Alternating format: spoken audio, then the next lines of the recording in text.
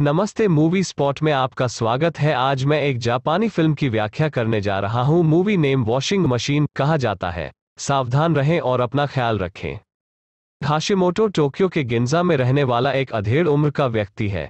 वो होने के बाद आर्थिक रूप से संघर्ष कर रहा है। अपनी नौकरी से निकाल दिया। एक सुबह वह कपड़े धोने के लिए कपड़े धोने की जगह जाता है। लोड करने के बाद ड्रायर के ऊपर वह चाहता है कि वो बियर की कैन का आनंद ले सके। ड्राई के अंदर कुछ गिरता है और बनाता है एक जोरदार शोर। चेक करने पर उसे अंदर बियर की कैन मिली। सबसे पहले, हाशिमोतो का मानना कि कोई हो सकता है कि उसे वहीं छोड़ दिया हो, लेकिन जब बियर ठंडी हो जाती है तो वह भ्रमित हो जाता है। पुराना जगह का क्लीनर लापरवाही से उससे कहता है कि ड्रायर सबकी इच्छा पूरी करता है। हाशिमोटो सोचता है वो एक पागल है और उसकी उपेक्षा करता है, लेकिन वो आदमी करीब आता है और घोषणा करता है कि वो सच कह रहा है। बाद में वह चला जाता है। हाशिमोटो अपने कपड़े साफ़ होने की प्रतीक्षा करते हुए बियर पीता है। एक लड़की में प्रवेश करती है कमरा और उसके कपड़े धोने का भार।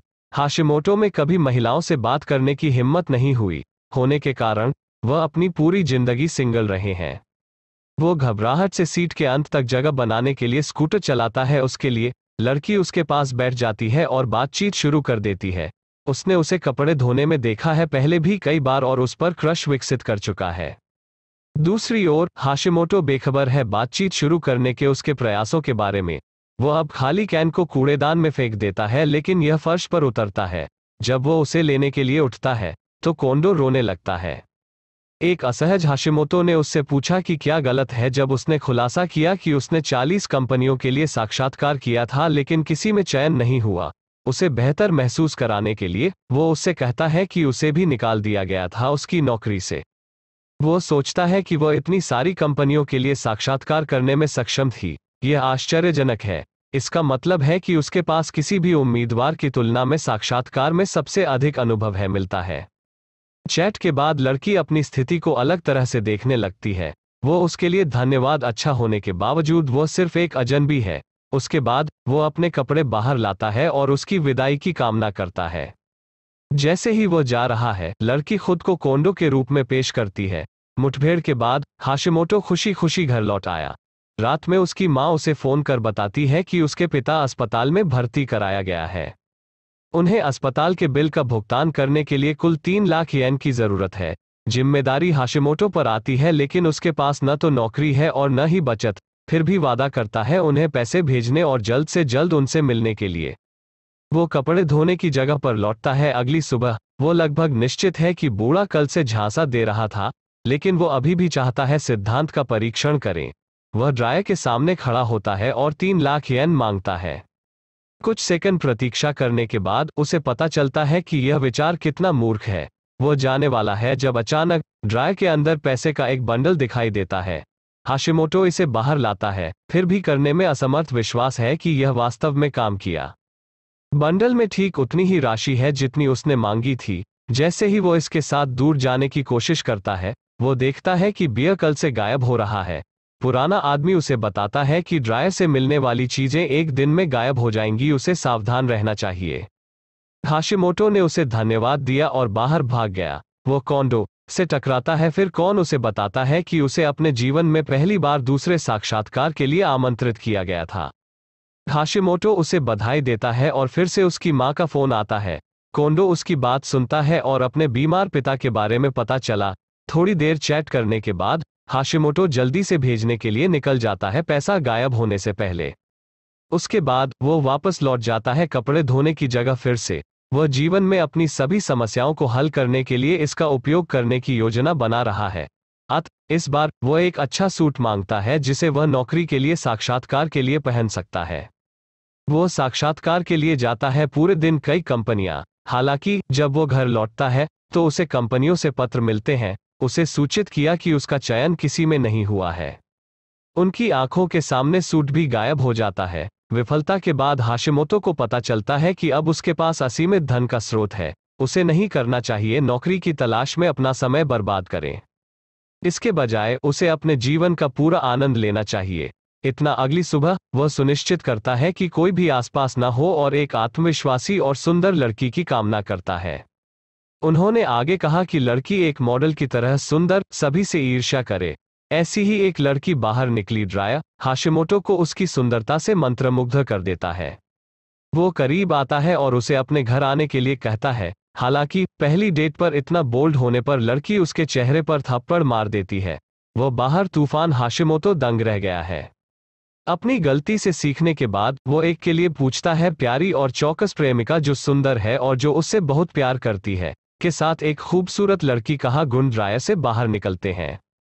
लड़की उत्साह से उसके साथ डेट पर जाने के लिए तैयार हो गई। उसकी राहत के लिए बहुत कुछ। वो उसे खरीदारी करने के लिए ले जाता है और ड्रायर से पैसे का उपयोग उसे सब कुछ खरीदने के लिए करता है, चाहता है। यह पता चला है कि ड्रायर द्वारा बनाए गए मनुष्यों को उनकी उत्पत्ति का कोई अंदाज़ा नहीं है और सोचते हैं कि वे असली लोग हैं। दिन के अंत में, हाशिमोटो उसे अपने घर वापस लाता है। फिर भी, वो उसके करीब आने से डरता है, इसलिए वे पूरी रात बात करने के लिए तैयार हो जाते हैं। हाशिमोटो की हथेली को देखकर लड़की टिप्पणी करती है कि उसका जीवन बहुत छोटा है। वो अचंभित है टिप्पणी द्वारा लेकिन इसे अनदेखा करने का फैसला करता है। सुबह में, वो अंत में पर्याप्त साहस जुटाता है, उसे चूमने के लिए झुक जाओ, लेकिन वो उसके ठीक पहले गायब हो जाती है। बस एक ही चीज़ बची है, कपड़े और गहने उसने उसके लिए खरीदे। हाशिमोटो ने लड़की के साथ संबंध महसूस किया, लेकिन वो अब गायब होने से दुखी नहीं है कि उसे जितनी चाहे उतनी गर्लफ्रेंड मिल सकती है। उस दिन से वो हर सुबह कपड़े धोने की जगह पर आता है और उसे एक नई प्रेमिका मिलती है, प्रत्येक एक अलग व्यक्तित्व के साथ। वह उन्हें फालतू तारीखों पर ले जाता है और उन्हें महँगे गहने खरीदता है ड्राय से पैसे के साथ। वो अपने नए स्रोत के साथ अपना जीवन पूरी तरह से जी रहा है। एक दिन, वो ऐसी ही एक गर्लफ्रेंड के साथ डेट पर होता है जब कोंडो उसे देखता है। उसे जलन होती है और उत्सुकता से उनका एक ज्वेलरी स्टोर तक पीछा करता है।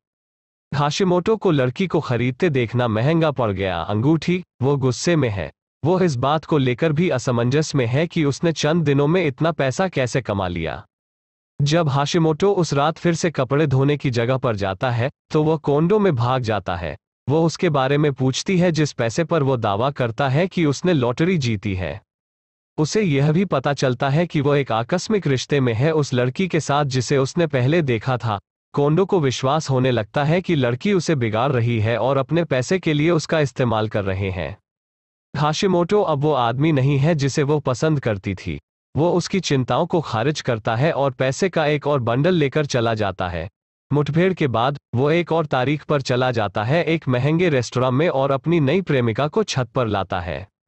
वो उसे एक अंगूठी भी देता है और उसे बताता है कि वो उससे प्यार करता है। वो कुछ मिनटों के बाद केवल अंगूठी को छोड़कर गायब हो जाती है। हमेशा की तरह, हाशिमोटो अंगूठी को अपने पास रखता है और अपने दिन को जारी रखता है। चूँकि वो अब तक मासूम लड़कियों के लिए पूछ रहा है, इसलिए वो बदलाव के लिए जाने का फैसला करता है और माँगता है कोई है जो मोहक है। ऐसी ही एक लड़की ड्रायर से बाहर निकलती है, जिससे वो घबरा जाता है। जैसे ही वे फ्लट करते हैं, कोंडो वहाँ पहुँचता है और उन पर जासूसी करता है। वो उसे कई अंगूठियाँ देते हुए देखती है जो उसने एकत्र की हैं। अब तक, उसे अपनी माँ का फ़ोन आता है और उसे कुछ सेकंड के लिए चुप रहने के लिए कहता है। जब वह नहीं, उसे कमरे से बाहर निकलना होगा। कोंडो लड़की से बात करने का मौका लेता है और पूछता है उसने पुराने हाशिमोतों के साथ क्या किया है। जब लड़की उस पर हंसती है और उसे जाने के लिए कहती है, गुस्से में आकर कोंडो ने उसकी अंगूठियाँ छीनने की कोशिश की। इस बीच, हाशिमोटो अपनी माँ से बात करता है जो बताता है ताकि उसके पिता को ऑपरेशन की ज़रूरत पड़े। पैसे से ज़्यादा माता पिता को उनसे मिलने की ज़रूरत है, लेकिन वह देखभाल करने के लिए अपनी गर्लफ्रेंड के साथ बहुत व्यस्त रहा है। कॉल के बाद, बूढ़ा आता है। हाशिमोतो ने कहा कि वो उसे ड्रायर के बारे में एक महत्वपूर्ण बात बताना भूल गया है। उनका कहना है कि जो व्यक्ति ड्रायर से बाहर आएगा, वह भी एक दिन में गायब हो जाएगा। हाशिमोतो ने उस पर हँसते हुए दावा किया कि वो पहले से ही जानता था। अंदर, लड़कियों के लिए कुश्ती जारी है, अंगूठियाँ प्राप्त करें। अंत में, नई लड़की यह सोचकर चली जाती है कि हाशिमोटो उसे धोखा दे रहा है। वो कोंडो को रोते हुए देखने के लिए लौटता है और उम्मीद करता है कि वो उस लड़के में बदल जाएगा जिससे वो कुछ दिनों पहले मिली थी पहले। इच्छा के कारण हाशिमोटो को ड्राई में टेलीपोर्ट किया जाता है। उसके कपड़े क्या बदल गए हैं? जब वो पहली बार कोंडो से मिले तो उन्होंने पहना था। उसे जल्द ही पता चलता है कि ड्रायर ने कोंडो की इच्छा पूरी कर दी है। जब से वो ड्रायर से बाहर आया है, उसके पास जीने के लिए केवल एक दिन है। टीवी हज़ारों के बारे में समाचार दिखाता है। येन ज्वेलरी की दुकान से लापता फ़िल्म के अंत में हाशिमोटो ज़मीन पर गिर जाता है, जबकि कोंडो उसे असमंजस में देखता है। ऐसे ही और वीडियो के लिए सब्सक्राइब करें। अधिसूचना चालू करें और चैनल को मदद करने के लिए एक लाइक छोड़ दें। देखने के लिए धन्यवाद।